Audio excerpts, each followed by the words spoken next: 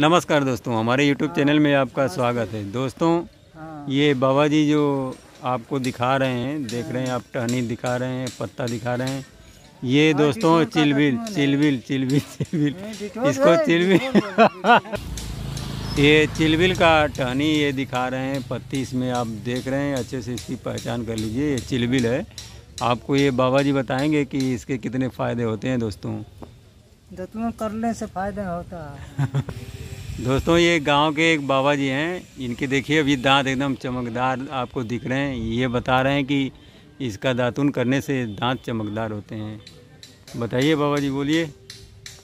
अरे, बहुत ये द- दतुआ करने से लाभ मिलत है।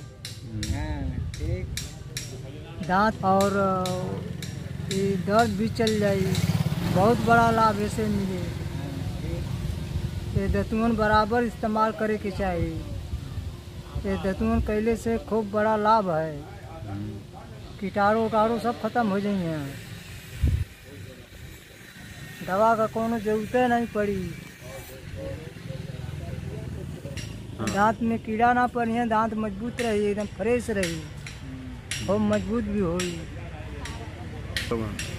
दांतन कहल करा लोगन एक पत्ता जो है रगड़ के खजली जो है लगा दे तो एकदम खत्म हो जाएगी। बहुत बड़ा लाभ इससे है। दोस्तों ये बाबा जी कह रहे हैं कि ये जो चिलबिल का पत्ता होता है दांत खाज खुजली के लिए बहुत ही फ़ायदेमंद होता है। ये जैसे देहात में हम घूमने आए हैं तो देहाती बाबा जी हैं ये गाँव में रहते हैं तो थोड़ी इनकी भाषा जो है कि भोजपुरी में है दोस्तों तो ये सही से बोल तो पाएँगे नहीं अभी।